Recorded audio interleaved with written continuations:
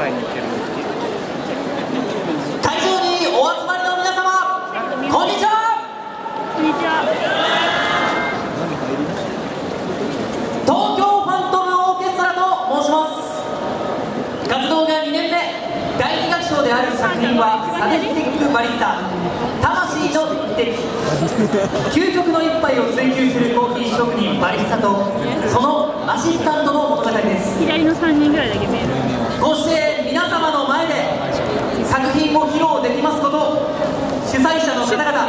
並びにお客様皆様のおかげです。本日最後の舞台我々ファントム感謝の演舞を踊らせていただきますよろしくお願いいたしま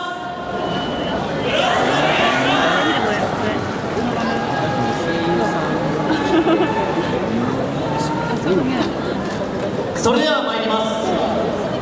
東京ファントムオーケストラサディスティックバリスタ魂の一滴。バリスタ